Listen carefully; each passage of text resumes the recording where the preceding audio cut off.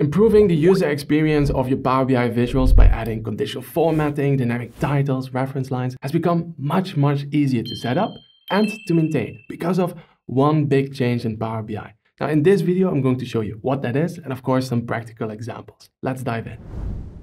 When we are developing our Power BI reports, we often have to create a whole list of measures that we are only using for a single visual, where we need those measures to set up conditional formatting, change the maximum of the y-axis, or dynamic titles. Now, wouldn't it be great if we don't need to store them in our data model so that everything stays nice and clean and do it at the visual level? Well, we can now with visual calculations. And that is not the only benefit. Visual calculations also allow you to write your calculations in a much easier way because you can point directly to other data points in your visual. Now, let me give you some practical examples of how I use them and actually prefer to use them for real live report building in Power BI. All right, starting off with conditional formatting. Let's say we have a column chart like this one over here. I just want to highlight the maximum or the maximum and minimum, a very common practical case.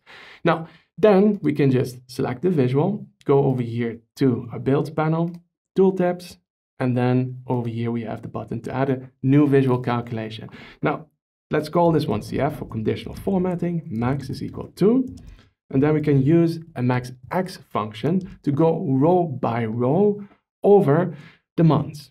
Well, I don't have to specify in visual calculation the month name field, which I have on the x-axis. Instead of that, I can just say rows, whatever there is on rows. And that is a big, big benefit of visual calculations because it's much more dynamic. Now, what measure do I want to base it on? On the total sales. Okay, and that's basically it. Now let's see if this works. Now this returns 6.7 thousand, which is indeed the maximum. Here we have it for March. Perfect. Now, if I want to use this now for conditional formatting, I have to tweak it a little bit further and put it inside of an if function. So that we can say if the total sales, so if the total sales is equal to the maximum, then I want to return a 1, or we can also uh, return the color green, or let's go for light green, a little bit prettier.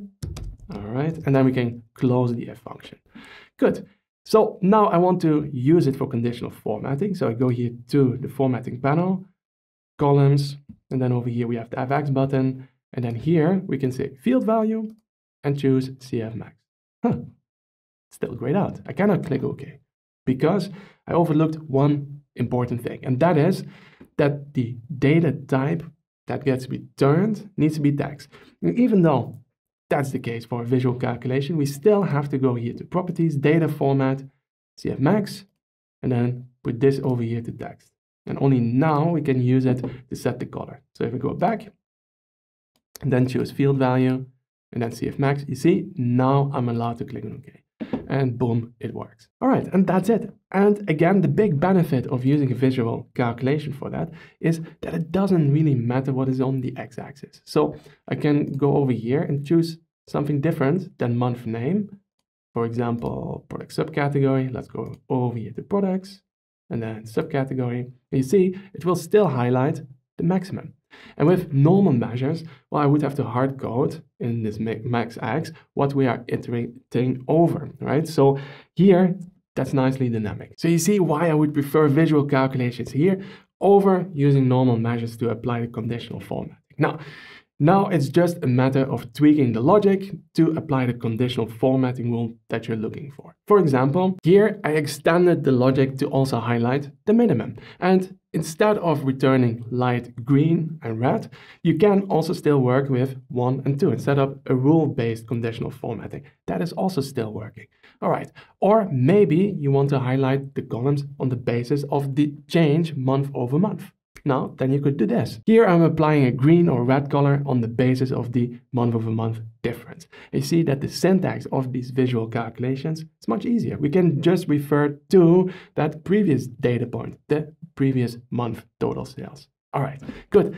Let's have a look at another practical use case where I would prefer visual calculations over measures. And that is to set the y-axis maximum. For example, you want to do that when you need a little bit more space here at the top of the visualization below title. Now to do so with visual calculations, we can again go here to tooltips, add a new visual calculation, and let's call this one y-axis max, which is equal to, and now here we can basically use that same function as before. And so maxx, we want to iterate over the rows and then find the maximum total sales. Okay, now this works, all right? But then we want to, well, have a little bit of extra space, right? So we don't want the y-axis to be exactly that 6.7. So let's go back over here to our calculation and multiply it by, for example, 1.5.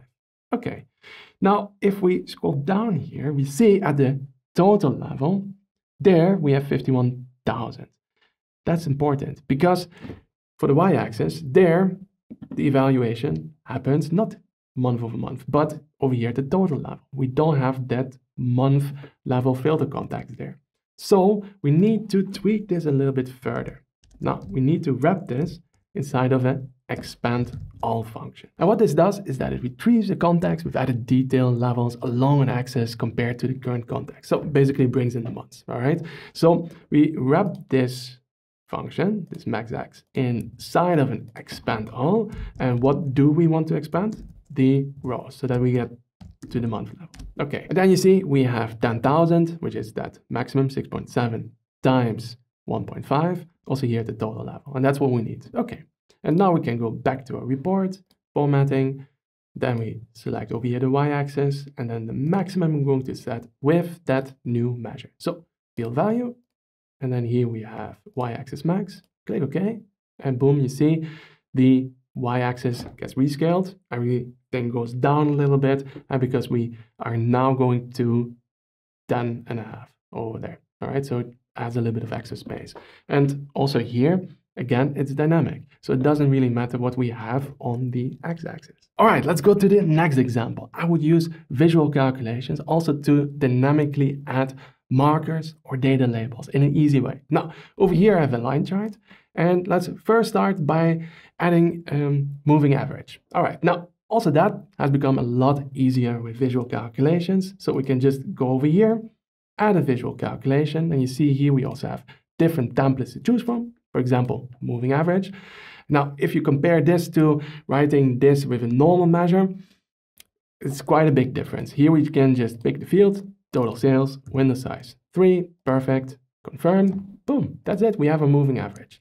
Now, let's also change the formatting. So over here in the lines, I'm just going to make this one black, a little bit thinner, and then the line style, let's go for dotted, perfect. Now, the next thing that I want to do is highlight those data points that are above that three month moving average. Okay, so we can go back here to the build panel. And now I'm gonna add over here a visual level calculation. And let's call this one above three month moving average. Okay, so if the total sales is bigger than the moving average, then return the total sales. All right, and otherwise just blank, nothing. And that works, you see. Over here we have a line with some gaps in between. Okay, now let's go back. Then we go over here to formatting. Then we go over here to lines. And for that above three month moving average, I don't want to show that line, but instead we go here to markers, turn them on, but turn them off for total sales and also the moving average one, and just leave it on for above three month moving average. So you see now we have only these orange dots when the data point is above that line. And for data labels, it would work kind of in the same way, right? So uh, we could go here to data labels, turn them on, toggle it off for the moving average line and the total sales line. Just leave it on for the above three month moving average, all right? And then for that one, we could go here to value. And there you see, we have our visual level calculation. Now, the only thing that's still not really working is to use a different visual level calculation, for example, uh, with the difference to that moving average line and use that over there. That would be nice. There are still some places where you cannot use the visual level calculation. So that's a bit of a pity, but I guess uh, that will be fixed soon as well. All right, so we have seen how we can use visual calculations to apply conditional formatting, set the y-axis scaling, and to apply dynamic elements like markers and data labels. Now, the next thing that I'm going to show you is how to use visual calculations to dynamically set the titles. All right, so in this case, we could, for example, count the number of months where the total sales was above that three month moving average. Okay, now to do that, we first need uh, some in-between calculations. So I'm going to go here to tooltips, click here on new visual calculation, and let's call this one above three month moving average, true, false. All right, so here I can say if the total sales was above the moving average, then return a 1, otherwise a 0. And this is just the step in between to get the count at the total level, because now I want to go back and then I want to wrap this inside of a sumx. So I want to iterate over the rows, sumx, rows, okay. Then we have this calculation, boom, all right. And if I would now click on OK, you see we have 8, but not at the total level. Now, how did we fix that before? By using expand all. Okay, so we expand the rows to include the month level, also where we have the total. All right, so here we expand the rows. All right, so that's the number that I want to show in the subtitle. All right, so now we just need a measure for the subtitle. So that's going to be another visual calculation. Let's call this one subtitle. And this is going to be equal to the above three month moving average true or false. Okay. And I want to combine that with some text. So ampersand, and then in between quotation mark, the text that I want. So 8 out of 12 months, we had above moving average uh, total sales. So let's add that here, months above moving average. I'm pretty sure you can come up with a better subtitle. However, it's about the idea. So now I want to use that over here in formatting title. Now, here is about the subtitle where I am actually using at the moment a normal measure. I'm going to get rid of that and I'm going to replace it with our new one. So field value and here we have our subtitle. Now, again, I cannot click on OK. We now have seen this problem before. So I can go here to properties and then here we have the subtitle one. And then here I want to have text. And only now I can select it here for applying the uh, dynamic title. So subtitle, and that's it. If we go back to the report, boom, there you go. We have 8 out of 12 months above the 3 month moving average. So another Great use case of visual calculations to apply a certain UX feature. And is there more? Of course there's more. There are tons of different examples I could still come up with, but I just wanted to show you the main ones. All right, maybe, maybe one more.